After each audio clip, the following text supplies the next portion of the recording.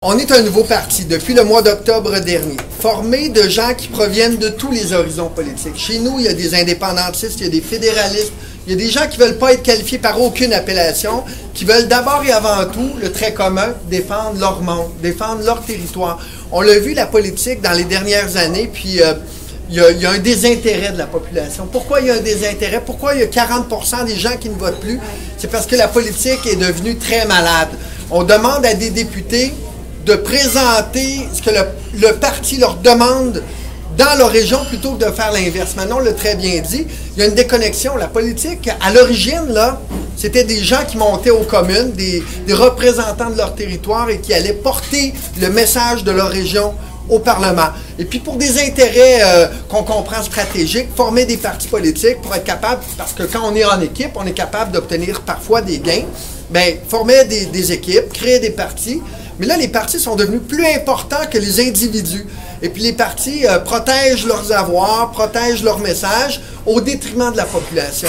C'est pas ça la politique. Nous, on veut qu'on réimplique les gens entre les périodes électorales. Pas uniquement vous demander votre opinion quand c'est le temps d'aller voter, parce que là, on vous le demande, votre opinion, puis on tente de vous convaincre. Nous, on veut vraiment réimpliquer les gens. C'est ça la démocratie participative. Premier parti où il n'y a pas de ligne de parti, outre que la volonté ferme de représenter les territoires. Présentement, on rénove les édifices parlementaires. On leur fait euh, un, coup de, un coup de rajeunissement. On met beaucoup d'argent, des millions de dollars pour rénover des immeubles, alors que le véritable problème, il est à l'intérieur même du Parlement. C'est la démocratie qui est malade. Et on ne met pas d'énergie à rénover notre démocratie, à la restaurer. Alors, c'est ce qu'on s'emploie à faire. Et moi, je pense que une cohorte de députés de Force et démocratie, aussi petite soit-elle, de quelques députés, un groupe de députés pourrait très bien la conscience du Parlement et d'être capable d'imposer des changements dans un gouvernement minoritaire. On est dans cette dynamique-là. Alors, on refuse de jouer avec les règles traditionnelles du pouvoir, puis on dérange. Quand on a ce discours-là présentement, les gens nous disent, ben vous avez raison, mais ça fait longtemps qu'on ne l'a pas entendu, qu'on aimerait l'entendre, ce discours-là. Un discours qui vient du cœur. Manon aura toute la liberté de bien vous défendre. Il n'y a jamais personne qui va lui dire quoi dire en votre nom. C'est elle qui va prendre l'énergie que vous allez lui donner et qui va être votre représentante. Alors, une longue campagne de deux mois et demi, nous le croyons, peut faire en sorte que le message de force et démocratie reparte d'en bas et remonte en haut et qu'on envoie un message très clair à nos politiciens, à ceux qui font de la politique de la vieille manière. Le peuple a le droit d'avoir euh, une oreille attentive non seulement, mais des représentants qui vont d'abord les défendre. On travaille avec 25, euh, 30 candidats. On espère monter jusqu'à 40. Il faut être quand même, euh, je dirais, on est raisonnable dans nos attentes parce qu'il y a beaucoup d'énergie à déployer. Pourquoi on n'a pas plus de candidats? C'est parce qu'il y a un tabou en politique. Tous les partis présentent des candidats qu'on appelle des candidats des fois poteaux, qui ne feront pas campagne, qui ne viennent pas de la communauté, qui est un nom sur un bulletin de vote. Puis là, ils disent, on a présenté des candidats partout. Euh, oui, mais est-ce que c'est des vrais candidats? Est-ce que c'est des gens qui vont vraiment représenter leur communauté? Est-ce que c'est des gens qui vont faire campagne, que vous connaissez, que vous avez rencontrés? Non. Alors nous, on se refuse d'avoir des candidats qui ne sont que des noms sur les bulletins de vote pour dire qu'on a présenté des candidats partout. On veut des véritables candidats, des gens qui viennent de la communauté, des gens engagés. Dans nos candidats, on a des gens là qui proviennent de tous les milieux milieu communautaire, des hommes, des femmes d'affaires, on a des élus municipaux, on a des gens qui ont euh, un bagage de vie, qui veulent véritablement représenter leur communauté, puis qui en ont assez de la vieille politique, là, de, de, de, de catégoriser les gens, là, t'es de gauche ou t'es de droite, t'es indépendantiste, t'es souverainiste. On veut des gens qui vont prendre le message de leur communauté, puis qui vont le ramener à Ottawa, puis c'est ça qu'on veut. Puis il est grand temps que ça change. Alors, euh, c'est un coup d'envoi aujourd'hui dans Montcalm avec notre candidate comme je le disais tout à l'heure, je suis convaincu que Manon va épater euh, la galerie, euh, comme elle a su le faire avec les députés à Ottawa. On vit dans un pays où on fait, euh, les, gouvernements puis les, les, partis politiques font des politiques nationales, c'est-à-dire qu'ils considèrent que c'est la même réalité à l'île du Prince-Édouard, à Terre-Neuve, en Alberta, puis dans Montcalm. C'est pas vrai que la réalité de Montcalm, c'est la même que l'île du Prince-Édouard, que de la Colombie-Britannique. Il y a des particularités régionales.